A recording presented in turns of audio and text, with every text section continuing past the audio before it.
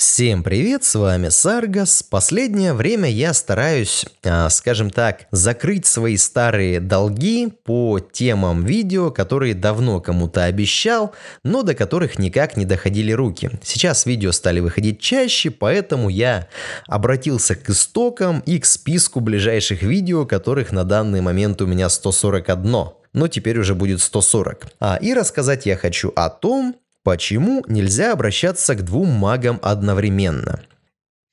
В начале моей магической карьеры очень частой была такая ситуация. А, человек обратился к одному магу, а тот что-то там с ним сделал, а потом обратился ко мне. А мне о том маге не сказал, а я вижу какое-то копошение в поле, а копошение это вычищаю, если кого-то нахожу, бью его по голове, обычно это оказывается предыдущий специалист, на котором, кстати, не написано, что он там делает и чищу человека по-своему. Этот специалист, которому дали по кумполу, а, считает, что темный маг активизировался, а, что нужно спасать пациента и уже приходит ко мне. А на мне опять же не написано, кто я и что там делаю.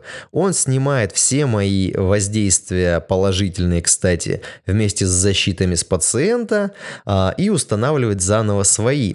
Дело в том, что если вы работаете в разных магических традициях, то вам может быть довольно сложно определить, что там на человека понавешено. То есть, ну, грубо говоря, а, мой коллега, к примеру, может понацеплять на человека каких-нибудь трубок, механизмов, там, каких-нибудь черных сумок, э, понавтыкать в него каких-то каналов, которые через какие-то там определенные механизмы будут даже физически его лечить. Ну, к примеру. Но я, а, работая совершенно по-другому, а, увижу это просто как черные, отвратительные, а, негативные каналы воздействия. И, разумеется, постараюсь все это убрать. Поэтому, во-первых, происходит вот такое вот недопонимание, когда два мага просто мешают друг другу и чистят работу друг друга. Э, это во-первых.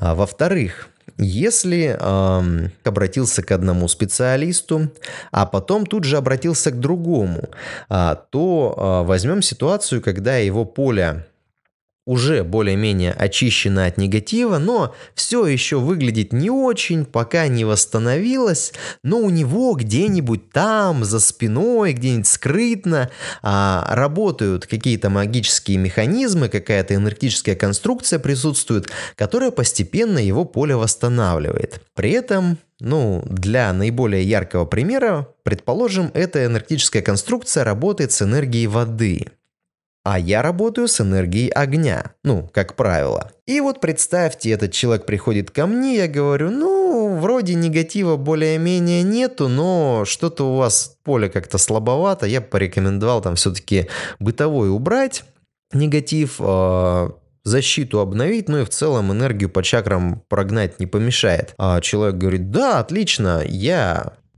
уничтожаю бытовой негатив с контуров поля, прогоняю энергию по чакрам, и мое воздействие натыкается на эти некие скрытые механизмы, которые остались от другого мага. И происходит маленький такой локальный армагедец, потому что в рамках поля одного человека два типа энергии противоборствующих стихийных эгрегоров, мягко говоря, не сдружатся. То есть, э, скажем, приведу пример из боевой магии. Если вы возьмете в одну руку э, энергетический шар, полностью состоящий из воды, в другую руку энергетический шар, полностью состоящий из огня, внедрите туда э, посыл на уничтожение, соедините их так сказать, взбалтывая, но не смешивая, то есть чтобы два шара соприкасались, но их оболочки не проникали друг в друга. И метнете такую гранату в противника, то от его поля мало что останется, потому что соприкоснувшись, а две, ну фактически негативно заряженные противоборствующие стихии, противоположные стихии, спровоцируют взрыв. Поэтому обращаться к двум магам, особенно практикующим по-разному, ну пусть даже представителям одной школы, все равно они будут действовать по-своему. Это просто элементарно небезопасно. Во-первых, как для самих магов, а, мне-то что, я боевой маг, э, пусть ко мне приходят, но вы уверены, что вам а, предыдущий специалист скажет спасибо? А, это раз. А два, вы уверены, что хорошая идея а, смешивать две противоборствующие энергии? А еще хлеще, если вы к темному магу обращались, мне об этом не сказали, а я давай вас чистить светом. М-м-м, красота. Мне, правда, по этому поводу претензий никто не высказывал, но как знать, может быть это потому, что некому было уже их высказывать.